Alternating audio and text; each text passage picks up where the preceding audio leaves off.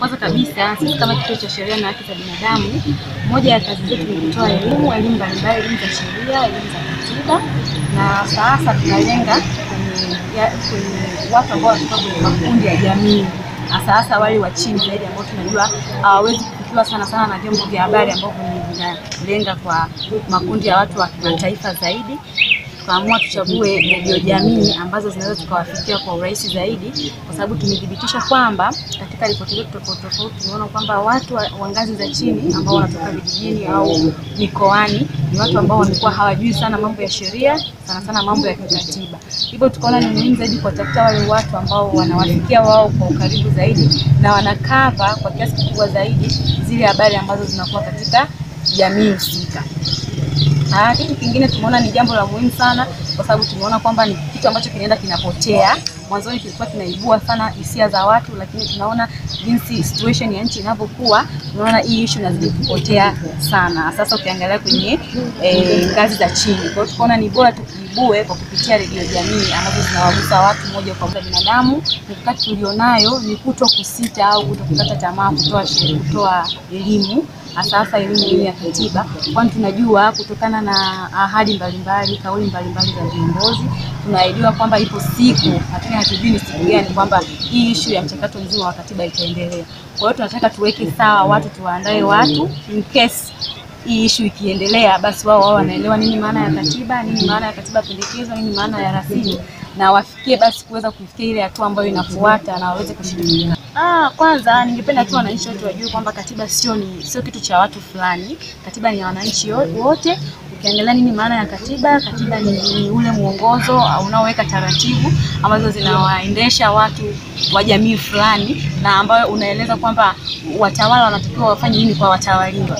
Kwa hiyo sio sio kitu ambacho kinalenga kwenye grupu la watu fulani, ni kitu ambacho kina, kinalenga kwa jamii nzima, kwa sababu wao kama wao wana serikali yao, walichagua viongozi wao na wanataka wao viongozi waongoze vipi na kwa taratibu zipi. Kwa hiyo hiyo dhana ya kusema kwamba labda katiba ni ya watu wa, wanasiasa tu au wanasheria tu, hiyo dhana naomba iondoke, kwa sababu katiba sio sio kitu cha cha grupu fulani. Katiba ni, ni kitu ambacho kinatakiwa kina inatakiwa kifuatwe na kisikilizwe na kiheshimiwe na watu wote. Ah, kama mwananchi mwananchi wa kawaida anatakiwa kwanza ajue sasa hivi mchakato wa katiba mpya umefikia katika hatua gani, ni kama umekwama, na tulipofikia hapa tulisha tulishapita hatua gani na tumepata dokumenti gani.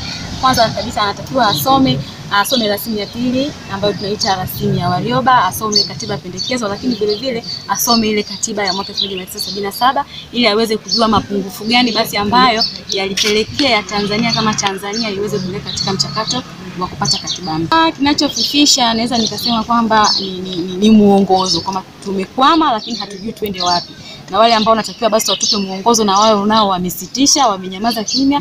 Kwa hiyo wananchi, sisi kama wananchi ambao tunataka katiba mpya iweze kuendelea au mchakato uweze kuendelea, hatuna namna ya kwenda kwa sababu tumekosa mwongozo. Kwanza sheria yenyewe imekufa, hatuwezi kujua tunaelekea wapi, kwa sababu unajua kitu kitu cha kisheria hakiwezi kwenda mbele bila kuwa na mwongozo. Kwa hiyo tunasema kwamba tumesimama kwa sababu hata sheria yenyewe imeshakufa. Kwa hiyo tunasubiri kwamba endapo serikali basi ikasema mchakato wa katiba uendelee, tunatakiwa tupate ile e, sheria ambayo inaweza katuongoza kwamba sasa hivi tulikwama hapa, basi sheria inasema twende wapi.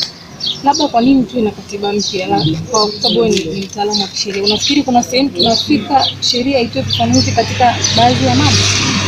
Ya kuna sababu nyingi za msingi ambazo zinapelekea eh, kudai katiba mpya uh, ikiwa mojawapo kwamba katiba hii iliyopo ya mwaka 1977 ni, ni katiba kwanza naweza kusema ni katiba ya tano tangu tumepata uhuru, na katika eh, katiba zote ambazo zimepita kuanzia katiba ya kwanza mpaka hii ya sasa hivi ni katiba ambazo hazikushirikisha uh, maoni ya wananchi, kama nilivyotangulia kusema mwanzoni kwamba katiba ni, ni, ni mkataba ambao unatakiwa uhusishe pande zote mbili, kwamba pande ya watawala na watawaliwa. Lakini ukiangalia historia ya katiba zetu kuanzia ya kwanza mpaka ya, ya, ya tano ni katiba ambayo haikushirikisha maoni ya wananchi. Kwa hiyo tunasema kwamba ni maoni ya, ya, ya, sehemu moja tu, kwamba wananchi hawakushirikishwa sana. Lakini vile vile katiba yetu imekuwa ina, ina mabadiliko kadha wa kadha, nikisema kwamba sisi kama wanasheria tunapenda kuita viraka, kwamba ni kitu ambacho kimekusha chakaa.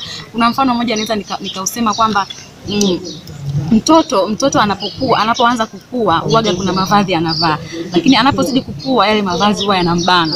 Kwa hiyo inabidi anunuliwe mavazi mengine. Naweza nikasema hivyo kwa sababu gani? Katiba ya mwaka 1977 ilitengenezwa eh, kipindi ambacho hakuna mabadiliko sana, kulikuwa hakuna mabadiliko sana ya kiuchumi, ya kijamii, sio ya kisiasa.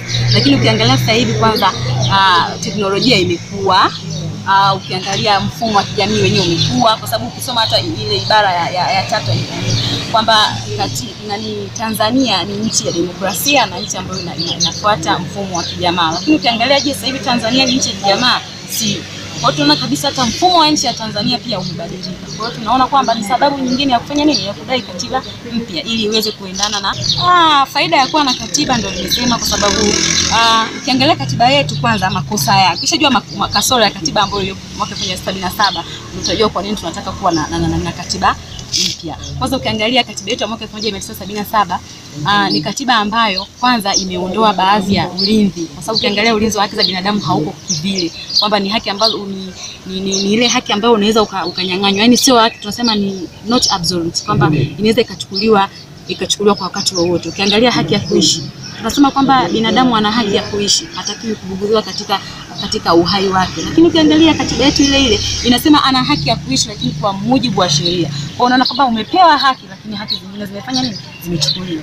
Ukisoma vizuri katiba ya mwaka 1977 imetoa madaraka makubwa sana kwa rais wa Jamhuri ya Muungano wa Tanzania, lakini vile vile imesema kwamba rais wa Jamhuri ya Muungano wa Tanzania ashurutishi kufuata maoni ya mtu yoyote yule. Unaona madaraka ambayo amepewa rais wetu, kwamba rais anaweza akasema tu kwamba labda waandishi wa habari wote sasa hivi msiweze kufanya kazi zenu, na kwa mujibu wa katiba hiyo pia ana mamlaka hayo, na nyinyi pia mnawajibishwa kwa kifungu hicho kwa kutokufanya nini, kutokufuata kile ambacho yeye rais anakitaka. Kwa hiyo tunaona kuna mapungufu mengi sana ambayo hapo kwenye nini, kwenye hiyo kwamba ukiangalia hata haki za makundi, kuna watu wengine wananyanyasika sana katika jamii, lakini katiba yetu haijafanya nini, haijawapa haki zao za msingi. Kwa hiyo tunaona yani baadhi ya vitu ambavyo tunasema sisi kwamba endapo basi katiba mpya ikiweza nani kutengenezwa na ikaweza kufafanua kwa umakini vitu kama hivyo, tunaweza tukiwa tuna faida zaidi na tunaishi vizuri kabisa kama nchi ya kidemokrasia.